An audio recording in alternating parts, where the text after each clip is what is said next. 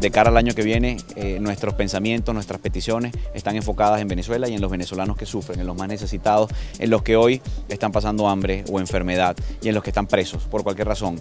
Y también en los presos políticos, quienes son presos de conciencia, por ellos estamos pidiendo libertad eh, en 2015. Lo más importante es que el 2015 nos traiga a los venezolanos paz y unión.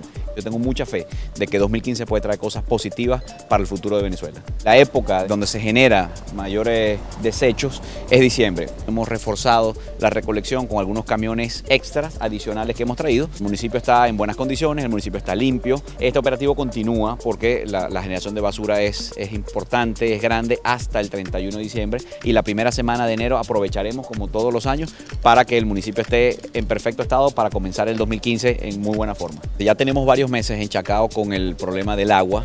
Hemos hecho exhortos a Hidrocapital para que nos dé información, para que restituya el suministro de ese líquido vital, que es además un derecho humano fundamental.